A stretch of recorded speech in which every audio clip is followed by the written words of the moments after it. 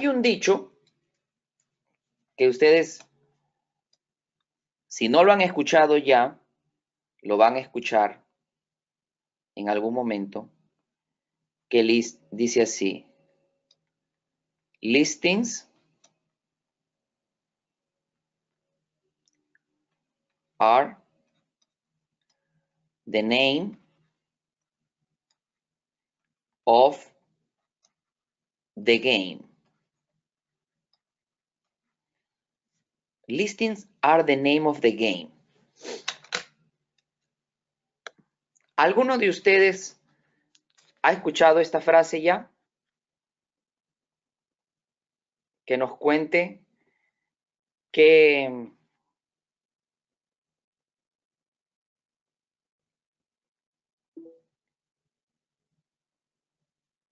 qué significa. ¿Dónde la escuchó?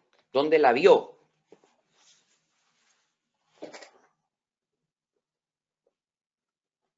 Listings are the name of the game. No, ninguno la ha escuchado.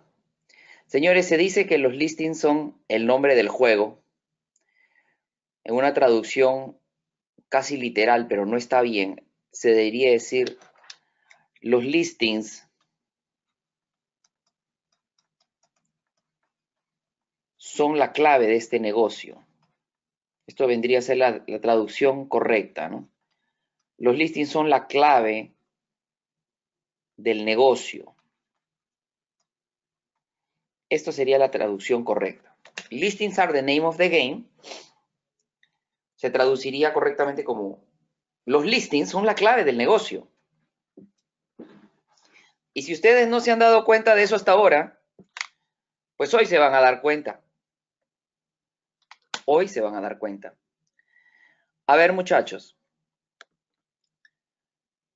Enumeren tres razones por las cuales trabajar con listings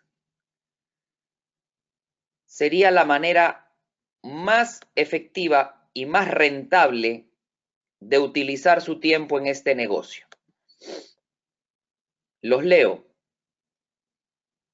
Ahí en el recuadro de chat me podrían dar cuáles son esas tres razones, como mínimo unas tres razones por las cuales trabajar con listings es mejor que trabajar con compradores.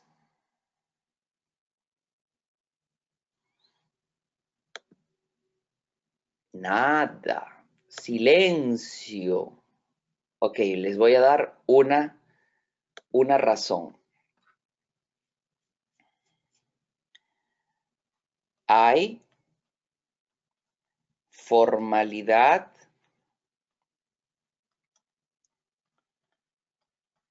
en el negocio.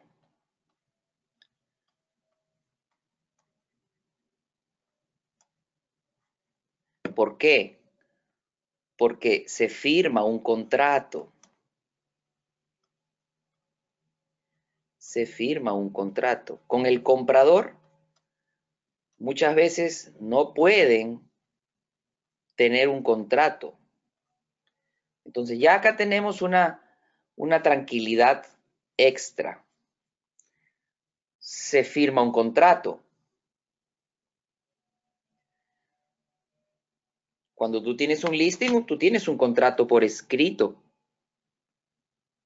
Cosa que cuando tienes un comprador, no, no siempre te pasa eso. O mejor dicho, para la mayoría que todavía no, no se animan a usar el, el showing agreement. Porque si tuvieran el showing agreement, ya ahí también eso le da formalidad al negocio con el comprador. ¿Qué otra cosa más? ¿Qué otra cosa más sería? Muy bien. Podrías doblar tu comisión. Excelente. Cuando uno trabaja con listing, muchachos, es la única, es la única vez, es la única vez con listings, porque con compradores no vas a poder hacer esto, es la única oportunidad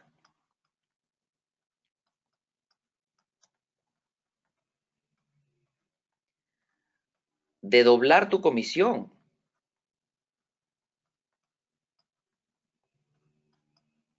Es la única oportunidad de doblar tu comisión si es que consigues, si consigues al comprador de tu listing.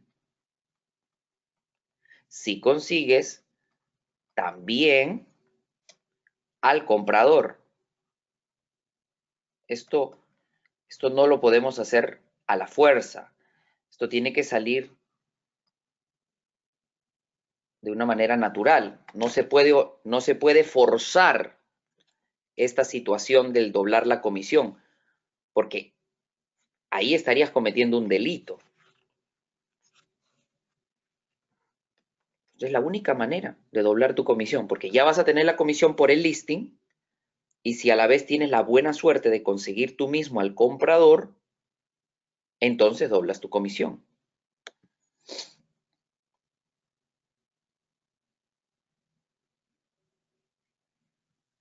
Así que muy bien eso. Otra razón es que puedes manejar más listings que compradores. O sea, tienes más apalancamiento. Puedes manejar más listings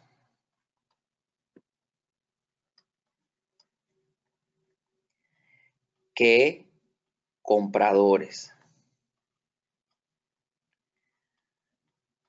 Puedes manejar más listings que compradores. Tú puedes tener, por decirte, 10 listings, pero no puedes tener 10 compradores, te vuelves loco. 10 listings, sí, tú puedes manejar 10, pero no puedes manejar 10 compradores. Los compradores te, te demandan mucho tiempo y en exclusiva. El listing no. Así que ahí tenemos otra razón más.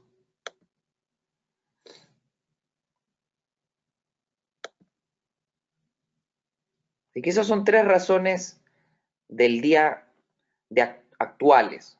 Son tres razones que me hacen pensar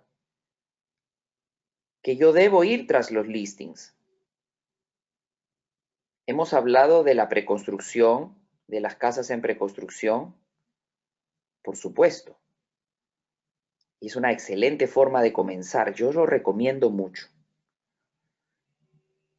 Ahora, con los listings,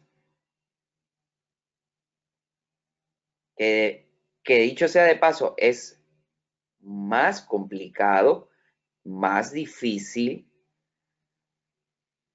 Con los listings se hace el negocio sólido.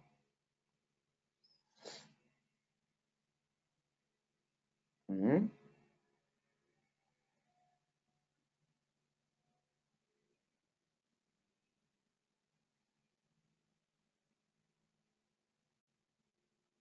Entonces, muchachos, antes de seguir con los pasos para atender a un vendedor, quiero preguntarles, ¿cómo conseguirían clientes para listings?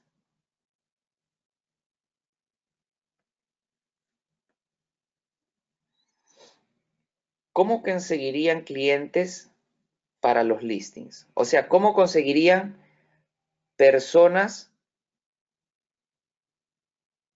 que necesitan vender su casa. A ver, vamos a poner ahí algunas ideas.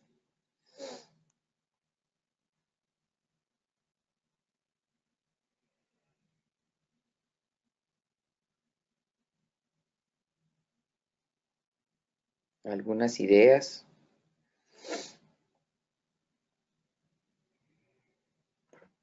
¿Qué me dicen, muchachos? ¿Dónde encontrarían clientes que quieren vender?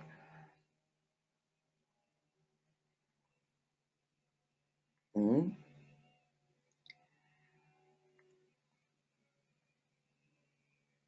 Llamando a las personas más cercanas a ti Muy bien. Tocando puertas. Claro. Son las formas tradicionales de conseguir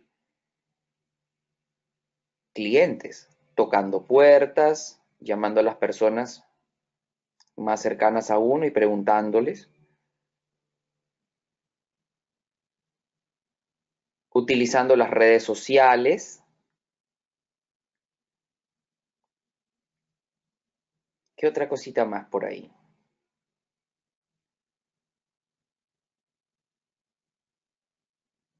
Eso está excelente. ¿Habrá algo más? Más, uh, ¿cómo se diría esto? Más directo. Algo más directo.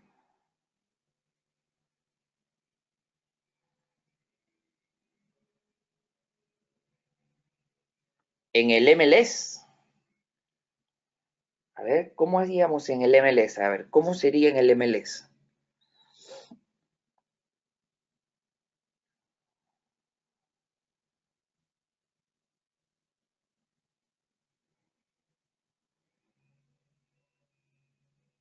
Muy bien, los que expiran y no se vendieron. Claro, los listing expirados. Excelente, los listing expirados. A ver, ¿y cómo haríamos en el MLS para buscarlo los dueños? Porque ahí lo que nos va a salir es expiró tal listing en tal fecha, esta es la dirección. ¿Cómo harías para conseguir al dueño?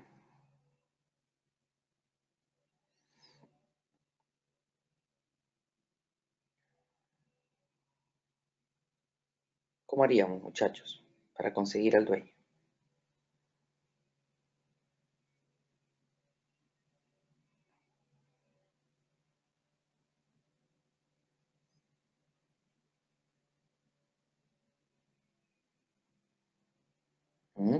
Les voy a enseñar. Miren, voy a borrar esto.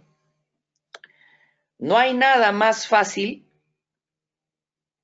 que conseguir a los vendedores de las casas. Eso es súper fácil. Conseguir a los dueños que están vendiendo su casa o que quieren vender su casa. Hay dos grandes grupos. Están, para mí, los mejores. Los for sale by owners.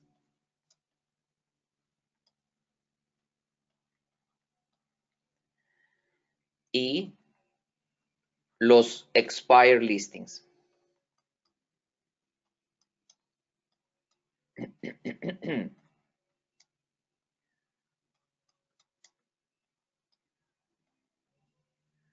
Y hay una mejor forma de encontrarlos, mucho mejor que en el MLS. Hay servicios, muchachos, que nos brindan esta información por un simbólico pago mensual. Los voy a llevar a una de ellas. Hay varias.